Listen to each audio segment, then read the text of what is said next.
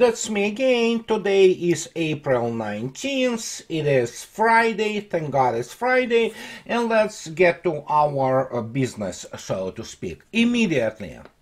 About what uh, happened allegedly with the uh, issue of Israel attacking Iran. Here is the missile threat official uh, declaration, so to speak, or rather uh, description of the uh, Israel's missile capabilities. They are not great, to put it mildly. They have, uh, in terms of standoff weapons, they have primarily what they've been using in Syria is the uh, some Popeye uh, missile with a range of about two, to, between two and two hundred uh, fifty kilometers. You have anti-shipping Gabriel. Allegedly, the uh, Israel uh, has some sort of uh, standoff weaponry on its submarines, but primarily, as you can see yourself, it is all local, so to speak, and it doesn't exceed any kind of the I'm talking about cruise missiles any range beyond the, uh, uh, well, 300 kilometers. In terms of the, obviously, ballistic missiles, yes, we have um, strategic missiles such as Jericho 3 and Jericho 2 with the range of 1500 kilometers. As you can see yourself, for Israeli Air Force to deliver any kind of the so-called standoff strike on uh, Iran, it's not enough to have the 250 kilometer range cruise missile. They have to fly through number of very unfriendly, to put it mildly, um, airspaces. So it's um, well, as correctly Iranians stated, most likely it was some psyops, some local uh, sabotage people, and there are plenty of those, including those who work for Mossad, just launch things and, you know, like quadricopters, they have been shot down. You could see yesterday on the video from the Isfahan that uh, there was some uh, air defense working, but there was nothing really serious there. So they intercepted all of them, but as Mr. Lavrov also stated, and it is uh, circulating now in Russian media, a Russian foreign ministry actually was a mediator between Iran and and Israel, and they told that, you know what, guys, calm down, and they said, they told Israel that Iran also doesn't want uh, escalation, which is absolutely natural. Nobody wants to go to war. And so this is it. That, that's pretty much it. Israel had this uh, a little bit of the, uh, how to put it politely, fa- face saving uh, psyops because obviously nothing serious except couple of missiles whatever the missiles there were probably cruise probably launched from somewhere who knows where uh, and that's it that's pretty much it. Nothing was damaged, nothing was, uh, you know, really seriously affecting anything, except for a couple of hours of diverting flights from Tehran. So that's it. And uh, uh, hopefully this thing will now go down, you know, so to speak, in terms of the tensions and uh, uh, well, we know everything now we need to know about Israel and its military capabilities. They are not great. Without United States, Israel really militarily doesn't mean that much. So let's go to the thing which I uh, actually uh, wanted to also stress in terms of their uh, what many people criticize me. Oh why do you do this? You know you go over and over about this thing about competences and you show those curriculum vitae of people and well because this is the critical issue of our existence today of the millennium and when people think that, oh, I do this for some reason to exercise, I don't know, whatever people read in what I do, but I do it simply to keep people informed because this matters great deal. And just to demonstrate to you, well, here we have two uh, very famous, actually, uh, evolutionary biologists, uh, Mr. Bret Weinstein and Heather Heying. And what you see here and this is stopped at uh, 11 approximately 11:30 seconds 11:43 seconds in this particular case this is the moment when about a month ago these two thinkers and especially people who went through all this you know DEI and you know in whatever garbage or wall garbage in Evergreen College, for example. And here is Heather Heying saying that in this particular moment, we used to thought that actually the uh, competence was very important and those credentials from Harvard, Stanford and other uh, Ivy League schools was uh, important. She says, and here's her quote, it's all trash. There you go. If you uh, do not believe me, just go and listen to this guy that saves America. He interviews these people, and uh, you will hear yourself. Uh, it's uh, a little bit on verbose side, but uh, again, they are biologists. They are not geopolitics uh, specialists. They are definitely not military specialists or STEM specialists, but they are scientists and just listen to what they say. So, and this is very important. It's about credentials. And so let me start today, after we discuss all this uh, situation with um, uh, how to say it, um, uh, uh, Israel and Iranian relations, quote unquote, uh, let me demonstrate to you because I will have to uh, be demonstrating this for a while now and uh, it's important. Just to give you example. So we have the so-called responsible statecraft, statecraft or research which is called Quincy Institute. Well, as I already stated, it's a Soros financed. It's Mr. Andrew Bacevich, Colonel Andrew Bacevich, so to speak, the uh, brainchild of this whole thing. And look at this. We have the guy Alex Little, I mean, yesterday, he writes the article about, in this responsible statecraft, what will NATO do with its giant Arctic footprint. The accession of Sweden and Finland means the alliance truly dominates the region, agitating already frail relations with Russia. Uh, Evidently, Mr. Uh, Alex Little has very little understanding of the geography and how the geopolitics of Arctic is formed. And so he starts right, uh, this is guys, this is Responsible Statecraft Institute. But here are the people of what I presented to you with this uh, evolutionary biologist and scientist speaking about uh, that credentials are just garbage. It's all trash, basically, including from obviously beloved and uh, self-promoting Ivy League. And here we have he says that the recent accession of Sweden means that seven of eight of the world's Arctic nations fall under NATO security umbrella, with Russia being the outlier. While some analysts see the addition of Sweden and Finland as an opportunity for NATO to increase its footprint and deter Russia, the last thing the alliance needs is to scour for another avenue for confrontation with Russia. So, and again, he uh, talks about that Sweden and Finland, because they are part of NATO, are somehow um, uh, play some role in Arctic. I, I, mean, the guy really needs to take a look at the map. He obviously have issues with geography, and while definitely a part of the Finland or Sweden lie in Arctic, this is not how you increase your footprint. And he continues. And uh, and here comes this wonderful things he talks about regarding force projection capabilities. The American-dominated NATO nuclear submarine fleet outmatches the opposing northern fleet of Russian Navy, he talks about. Rather than seeing the addition of Finland, however, he continues, and Sweden as an opportunity to increase the militarization of the Arctic, NATO should work towards utilizing working groups like Arctic Council to forge multilateral uh, arrangements to reduce tensions. Well, yeah, it's all fine. Uh, hey, sure, why not? Nobody argues with that. But let's take a look at what the guy talks about, about, and you know what? He's a, a kid from as you can see yourself, that's him. Uh, he's Alex Little, and uh, the question is, Alex Little is the Quincy Institute Grand Strategy Intern. Before joining Quincy Institute, Alex worked as the development assistant at the Cato Institute, and is also a former Marcellus Policy Fellow with the John Quincy Adams Society. So, I mean, uh, you know what?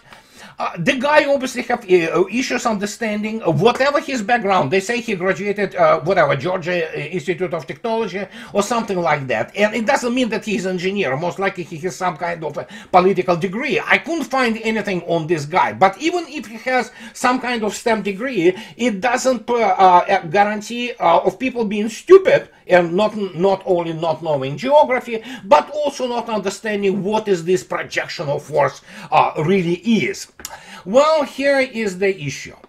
Uh, before he talks about, for example, US, Na US Navy uh, submarine force, which is still a, a, a, very advanced submarine force, but what he forgets, of course, that uh, actually you do not count just merely uh, numbers. You, as I already stated, you count of the what is COFM, correlation of forces and means. And while US Navy submarine force is the world class, let me show you something about what he talks about projection, because class, obviously you have Virginia class, uh, you have the four, uh, which will be very soon uh, um, decommissioned uh, four Ohio class submarines uh, turned into the uh, Tomahawk platforms pretty much. But still, let's go and take a look about this power. And when you look at this document, as you can see yourself, it is April 2022. A report to Congress on the annual long-range plan for construction of naval vessels for fiscal year 2023. And you can see yourself, it's uh, by Office of the Chief of Naval uh, Operations. And let's see what uh, are the projections. Projections, as you can see yourself, battle force inventory and trade space. So off, let's take a look at the table of the attack submarines. And as you can see yourself, attack submarines constitute, uh, well, the number of attack submarines, as you can see yourself, underlined in red, currently stands at about, well, about, because who knows what, but let's say 49, okay? 49 uh, attack submarines. These are the submarines uh, which go into the area and hunt other submarines, while other submarines hunt them, and so we have this whole game of the anti-submarine warfare. And here comes the thing which obviously Alex Little doesn't understand what he's talking about, because, oh my gosh, let's let's go there. And this problem actually hasn't been resolved. This one is from the last year, about half a year, well, more like eight months ago. And as you can see yourself, even CNN reports that nearly 40% of US attack submarines are uh, in or awaiting repair as shipyards face worker shortages, supply chain issues, and that means that the number of attack submarines which you uh, have been uh, uh, presented to you, which is 49, uh, for the, you know, let's go for the ease of calculations, let's go and calculate what is when the 40% of your submarine force is not operational and this is multiply 50, no 49, let's go 50. Uh, multiply 50 by, uh, you know, 40%, or take 40%. You immediately minus 20 submarines from this, uh, because uh, 4 times 5 obviously is 20, you know. So, and uh, guess what? So out of 49 submarines, roughly speaking, you have left operational, which is 29 attack submarines. That's what the uh, uh, inventory of the active submarines uh, which US Navy has right now. And now let us look at the map. I'm not presenting map for you. You should know this from the high school or middle school rather, or maybe even elementary school. Look at the globe. United States has the obviously two oceans on the both sides of it. And as such it has geographically two fleets. Obviously it has more fleets as the operational and strategic uh, formations like seventh fleet second fleet and things of this nature. No no no. We're talking about the geographical fleets. And they are two which is of course uh, pacific and atlantic and guess what? So you have 30, about 30 submarines. You have to split between these two theaters. Well, guess what? Even if you go uh, from the like, uh, you know, splitting it in half, what you have, you have the about 15 attack submarines operating on the theater, well, in Arctic. Of course, you can move forces, uh, you know, between uh, uh, two theaters, you can theoretically move the submarines from Pacific Theater to through Pan Panama Canal, and you can move them uh, up north. But what we have here is probably around 15 subs which attack subs which United States has. Obviously, they can launch their Tomahawk missiles. That's the only thing they carry. But then again, launch at what and from where? That really matters. And when you talk at the, we're talking about the Russian Northern Fleet, here comes a very interesting statistics, and that tells you that Mr. Little has very little understanding what he's talking about operationally. And let me demonstrate to you uh, some things which, of course, are if we go into the uh, table of the uh, uh, uh Northern Fleet, here is the 2024 table for Russian Navy summary. As you can see yourself, if we discard eight uh, seven of them are brand new strategic missile submarines uh, on the uh, on the Northern Fleet, which are eight. What we have there is this: you have atomic cruise missile submarines, which are Severodvinsk primarily class, uh, and uh, the uh, Oscar II class, which are extremely uh, silent. We have five of them. You have multi-purpose submarines. We have 12 of them. And then you have also the thing which, for example, US Navy simply doesn't have. You have those really effective diesel submarines, six of them. I'm not talking about special submarines and things of this nature. So as you can see yourself, 5 plus 12, 17 plus 6, uh, Northern Fleet has 23 operational submarines. So, and this is not where it all ends. Uh, as you can see yourself, we have now this thingy coming. Look at this. The latest one of uh, uh, the Kronstadt submarine is already active and it's in the Northern Fleet. You have Veliki Luki in sea trials in Northern Fleet, and then you already have the uh, being built another Vologda and Yaroslavl. This is Lada class extremely advanced submarines. The latest versions of them will be with uh, anaerobic uh, uh, propulsion. And here they are. And uh, when you begin to add this, you suddenly have the situation that, well, Russians probably have a submarine force, which it's, we're talking about submarines only, not just uh, surface ships, which, of course, U.S. Navy cannot really send surface ships to Arctic to fight Russia, which is ridiculous because they will be all sunk. Well, you know what happens with uh, carriers uh, of uh, Tomahawks when they meet carriers of Zircon. And when you put those numbers together, not only you see yourself the dynamics of uh, uh, Northern Fleet alone having enough wherewithal or enough assets, even if you consider, obviously, as it's always normal, some uh, submarines being in the, you know, how to put it, uh, in repairs, others being in docking, which, you know, normal, you know, routines for submarines. And then suddenly you have the numbers which are really not, already not uh, at least equal, but in uh, within next probably five years, uh, United States Navy and submarine force will have really difficult time dealing with the uh, Russian subs there, which are as quiet and as advanced as those Virginias or even Sea Wolves. And when you uh, take a look at this the picture, and especially when you have the overwhelming dominance of the anti-submarine warfare assets there, with Russians flying the whole regiment of the brand new IL-38s with Novella uh, um, uh, navigational and targeting complex and advanced sonars and things like that. So yeah, not good chances, you know, of survival. Some, of course, can survive, no doubt about it. This always, you know, the warfare is the most democratic affair. Uh, the opponent also has the uh, the word, so to speak, and has the say. Uh, but you know what? So uh, you can see yourself, the dynamics is not there to support all those, you know, wonderful U.S. submarines. And Virginia class excellent subs. But there is another thing: they do not dive as uh, deep as Russian submarines. Actually, if you take a look at uh, depths which Russian modern Russian submarines operate, uh, yeah, it's uh, not there for U.S. submarine fleet. And uh, then, of course, uh, Mr. Little talks about the situation with uh, that, uh, you know, icebreakers. And he talks about that there are no military icebreakers. Well, he has issues, obviously, because this is Ivan Papanin, which already has the crew, and it's already going through the state trials right now three other of those so-called icebreakers armed with the artillery and guess what? Obviously caliber missile will be uh, installed if need be.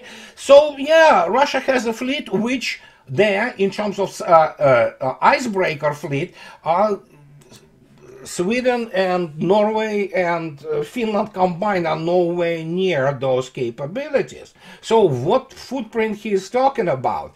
Uh, United States lost the uh, race, so to speak, for the Arctic, and especially when you look at the Russian bases, which uh, with bunch of the advanced both air defense and strike capabilities, uh, sure, but you know what this is uh, basically uh, comes back to uh, this comes back to what uh, i opened this uh, uh, video today with those people those american scientists evolutionary biologists talking about metaphysical issue that yeah there is nothing really good which comes out of those old you know specialists you know credentialed people with all those harvard and stanford and what have you degrees most of them working in the field of geopolitics are absolute nincompoops. And so, as this article uh, which obviously I used as a vehicle to demonstrate to you how the COFM, correlation of forces and means, changes and what is the dynamics in the Arctic. And it's just really funny, you know, talk about this. And this is what happens when people do not understand the background and the context, especially the context as uh, presented in terms of technology, and how military technology actually operates and how it influences, including those power projection capabilities. So this is not to say that the U.S. Uh, Navy submarine force is bad. No, it's a great submarine force. They have excellent specialists there. They have excellent professionals there. So make no mistake, this is an extraordinarily strong enemy, if, for example, for Russia, let alone China.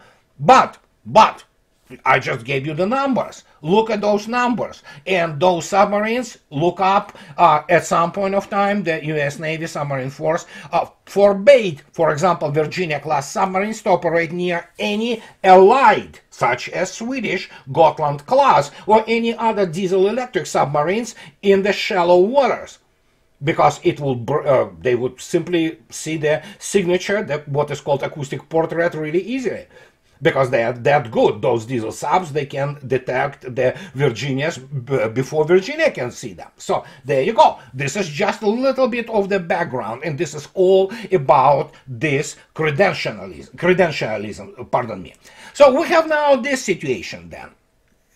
Uh, let's go with the fact that uh, now we have the little bit of uh, how to put it politely, I I don't know. That's about this credentialism.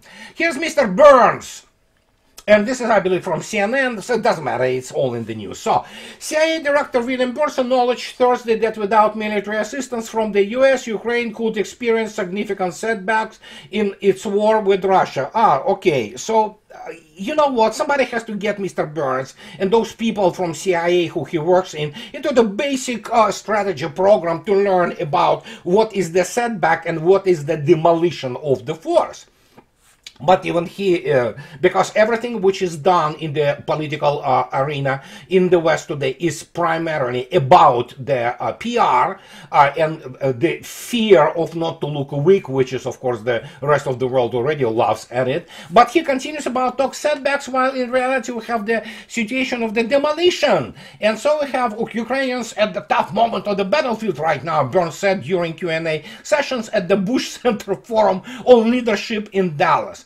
With supplemental assistance from US, Burns said Ukrainian force can hold. No, they can't. And yes, this is about the 60 billion. Uh, obviously, they will pass it. Make no mistake. It, it, goes without saying that this. I already warned about it for a number of months that it will pass eventually. So the problem is that they will change absolutely nothing. So he continues to talk about they can hold their own on the battlefield in 2023 and continue to do damage with deep strikes in Crimea and against the Black Sea Fleet. Sure, sure, yeah, let them. That's, you know, it's war, sure.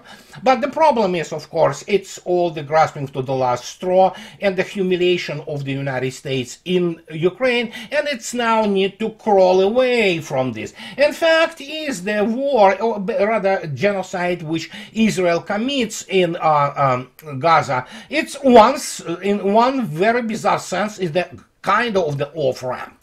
Burns said that with the boost uh, that would come from the military assistance, both practically and psychologically. Okay, there you go. That's where you can stop this immediately. The Ukrainians are entirely capable of holding their own through 2024. No, they are not. And he probably knows, but because obviously that but a profession of the former uh, U.S. diplomats today, primarily, not all of them, is lying and giving this PR, you know, pep talk. So, but somebody has to tell him and go and study what strategy is, military strategy and military grand strategy. And so that will explain why he talks about it. Even, even, you know what, even Washington Post, they couldn't take it anymore. And these are all uh, practically Zionist media in the United States. Even they say Palestinian paramedics said Israel gave them safe passage to save a six-year-old girl in Gaza. They were all killed the, even Washington Post comes now uh, out with these types of the headlines. It was inconceivable uh, in October and November last year. And even suddenly, even when you have those warmongers in Washington Post recognizing what is happening there, well, what can I say? You know, there's some change there. And just not to be outdone, though, with Mr. Um, Burns, we have now these guys, red Germans. And uh, the Russian embassy in Berlin received a notification about the undesirability of the participation of official relatives, uh, representatives, pardon me, of the Russian Federation in commemorative events on the occasion of the 79th anniversary of liberation of prisoners of concentration camps, said the official representative of the Russian Foreign Ministry, Maria Zakharova.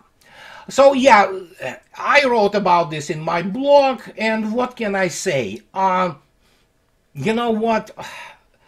When you look at especially this behavior of Germany, who wants to still to find those patriots for um, Ukraine, uh, the nation will completely uh, berserk, and I think so Russians uh, should stop talking to them anyway, because yeah, it's uh, not even provo- it's not even provocation.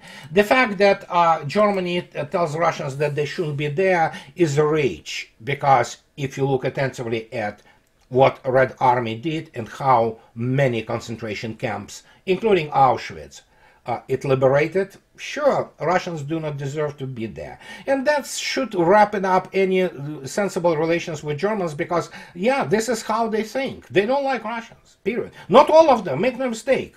Uh, as I already stated, are many uh, Germans who are actually migrating now to Russia. But uh, yeah, with present uh, European elites, they have no honor, integrity. They're, they're low lies, say plain, uh, plain and simple. So, and I'm on record, as I already stated, uh, if it would be up to me, I would repatriate all remains of the Red Army soldiers from every single cemetery in Europe, including removing all monuments from Europe uh, dedicated to Red Army, and I will repatriate them to Russia. Europe doesn't deserve uh, uh, uh graves of Red Army soldiers. Simply doesn't. There's nothing to talk about. And this is pretty much what I wanted to tell you today before you go to the weekend. And uh, you know what? Just guys, have a nice weekend. And uh, as always, I want to thank my wonderful patrons, people who support me, because that allows me to do what I am doing. And uh, as always, guys, those who uh, uh, can afford, please support me on Patreon or buy me a coffee and two. And, you know, just su subscribe to my channel. And I'll talk to you later. Have a nice weekend. Bye-bye.